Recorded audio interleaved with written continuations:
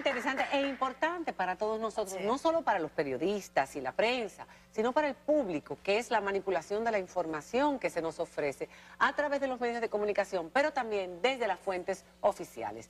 Tú habías eh, dejado una pregunta. Una pregunta en el aire de, la, de cómo los periodistas en esta época, con tanta información, pueden verificar y si realmente se está haciendo ese trabajo, la fuente oficial, para no dejarse llevar de la premura, de dar para luego saber que es un fake news o que o que tomó de una fuente distorsionada la información real?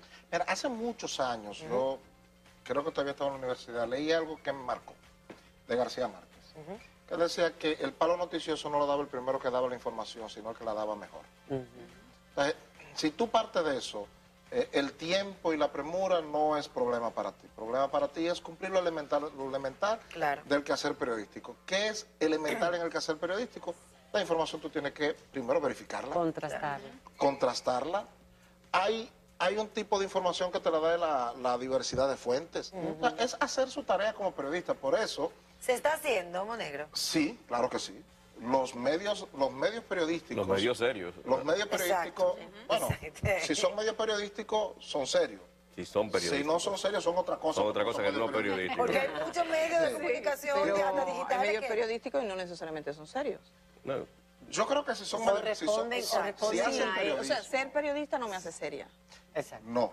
No, y ser un medio periodístico no te hace... Tú o haces periodismo o haces otra cosa. Bueno, no, pero hay gente que pasa por periodista. Pero hay gente que es periodista. Porque un, negro quiere decir que, el periodismo en sí es La manipulación, lo que pasa es, no, la manipulación se ejerce desde la información.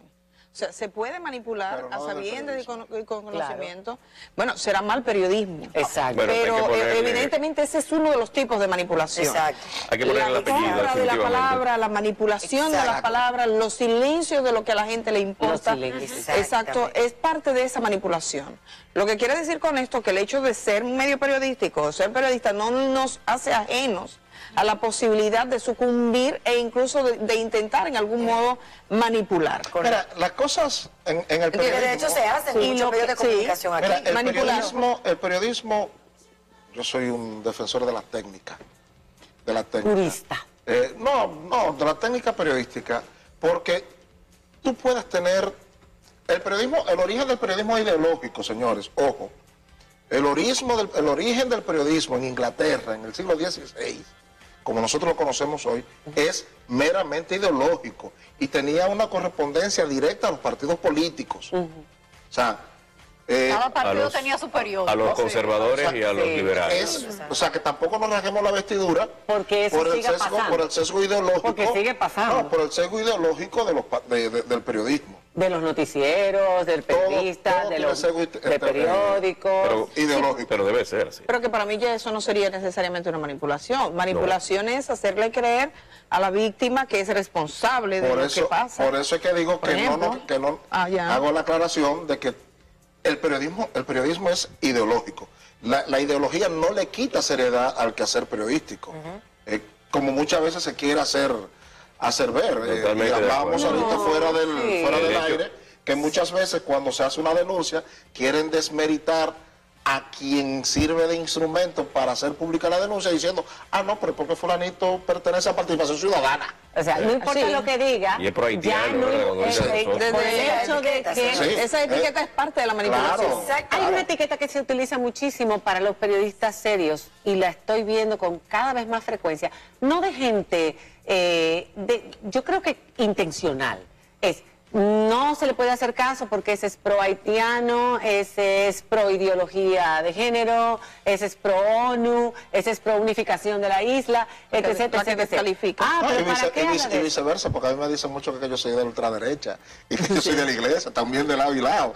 Sí, lo que pasa es que cuando, cuando se pone una etiqueta, se le pone una etiqueta, es invalidar la palabra es invalidar lo que se da, se busca invalidar la palabra. Y es importante que la gente que está en su casa note que lo importante aquí es que la información que le llegue a usted sea en la medida de lo posible, lo más veraz y acertada posible. Entonces, le ponen impedimento para que la gente no reciba la información adecuada. Porque recordemos que estamos hablando de manipulación de la información. Y la información es trascendental e importante, que es la que lleva a la gente a decidir de forma correcta. Cuando tú tienes una información incorrecta, tú decides de modo incorrecto. Estamos hablando de que en democracia es fundamental. Por eso los medios de comunicación tienen una labor que, aunque privada, tiene una vocación pública, porque la información es esencial en democracia. Y entonces nosotros encontramos manipulaciones de todos los órdenes. Yo invitaría a la gente a que busquen a Chomsky, que tiene las 10, los 10 modos de manipulación que desde mi punto de vista plantea eso, temas como la distracción, por ejemplo. Eh, enumera algunos de ellos. Bueno, yo te puedo enumerar porque lo tenía. La distracción, la estrategia de la distracción te hace pensar eh, en cosas que no son relevantes. Si le preguntamos a cualquiera de los jóvenes que están aquí, probablemente, eh, cuál es, qué, qué parte de su cuerpo tiene asegurado Jennifer López, ellos lo saben. Pero probablemente no sepan cuánto dinero tienen en la AFP de ellos. O sea, la información que deberían saber es la suya, no esa crear problemas y después ofrecer soluciones, él lo citaba como uno.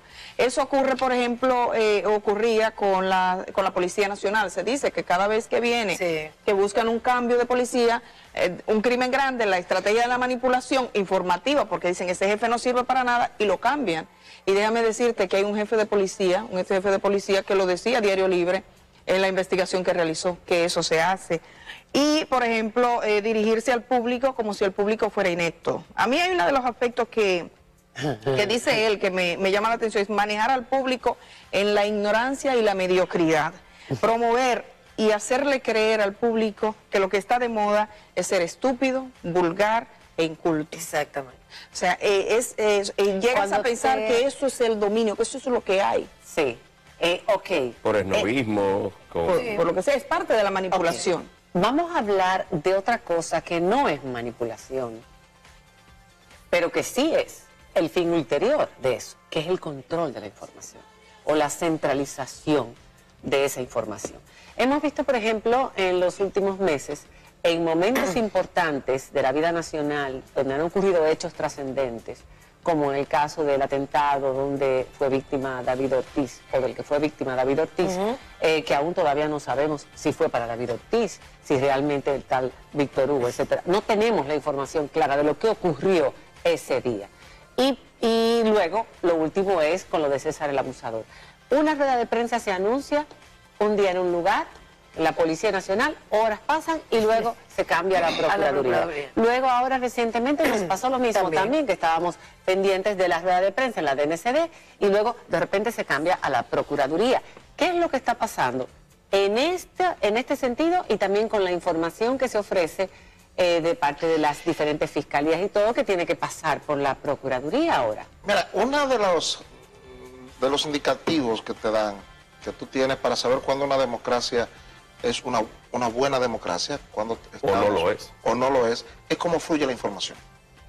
en, las, en las democracias maduras la, la información fluye rápido y fácil. Donde la democracia es imperfecta, la información fluye como cuando corre Félix Sánchez, que es saltando obstáculos. uno como periodista, cuando uno descubre eso, uno, uno tiene que saltar esos obstáculos, porque el trabajo de uno es buscar la información, pero en otras naciones, por ejemplo, tú mencionaste el caso de, me voy con César el abusador. Sí. Me voy con César el abusador. Aquí dieron una rueda de prensa y dijeron inexactitudes y mentiras, que son dos cosas distintas. Aquí se mintió, y se mintió a propósito, adrede. adrede. Cuando estábamos en eso que yo dije, bueno, quizás por lo yo tengo mucho tiempo, yo fui corresponsal de agencia, de una agencia de prensa de Estados Unidos, Associated Press, yo sé cómo funciona la, el flujo de información de Estados Unidos, cuando aquí estaban dando muchas cosas, yo recurrí a los mecanismos de información de Estados Unidos, que todo lo que no es seguridad nacional, pues si tú vas a, la institución adecuada, te lo, dan y te lo mandan como si nada. Así eso mismo ocurrió en este caso. Nosotros empezamos a tocar las puertas que teníamos que tocar fuera del país. O sea que tiene pero, fíjate, pero fíjate cómo estamos tan acostumbrados a que sea así que cuando vemos al general de Colombia dando tantas informaciones hasta nos sorprendemos, sí, hombre tan abierto. Y, sobre todo, sin tanto bulto. O sea, tranquilo, suave, sin, sin, sin todo eso custodia, porque eso es ese aparataje que parte aquí de... Mucha banderita detrás. Sí, pero que, estaba tranquilo. Pero que resulta que en esas democracias el funcionario público que le miente a la, a la población sufre consecuencias. Aquí no. Bueno, lo vimos en el caso de Miriam Germán, ¿Qué pasó, Ah, sí, ¿qué claro, pasó también. por ejemplo, por qué fuera que le iban a hacer el juicio político a Bill Clinton? Mucha gente no, no, no, ha- no, se ha, no ha caído a- en, en cuenta Por de eso. haber mentido bajo juramento. Fue por haber haber mentido. bajo juramento. Fue por Perjurio. que a Bill Clinton le iban a hacer un juicio político, Sí. que finalmente no se lo hicieron porque los legisladores no votaron por los partidos, sino votaron por lo que sus representados Sí, pero ese- querían. Ese es una, un país muy desarrollado. No, lo que pasa es que aquí no está concebido muy perjurio del tipo legal. Ahí se quitan pero- presidentes sí, pero- por estar escuchando. Pero Ahí caen presidentes. Un periódico tumba a un presidente. ¿Tú te imaginas que tuviera sido Washington Post? para, para darle no, paso a- Watergate, la. Ah. que cómo fluye la información en un país eh, te, te dice qué tipo de democracia Claro. se vive en ese país. En las grandes democracias las informaciones fluyen y tú tienes cómo llegar a las fuentes oficiales sin mayores dificultades. Eh, a mí me parece que, ya que mencionas el caso de César el Abusador, que, que es bien puntual, eh, la- en el fondo está vender como éxito lo que en realidad es un fracaso. Estamos Esa- diciendo- esa es otra manipulación de la información sí, también. Básicamente, o sea, por encima incluso de las anécdotas puntuales del caso, de lo que está ocurriendo, lo que tienes es que tienes a un narcotraficante que en República Dominicana durante decenas de años estuvo operando de manera libre, que iba, que estaba abiertamente, que iba a sitios públicos, que era dueño de la noche en Santo Domingo y el Distrito Nacional, y que nadie se enteró.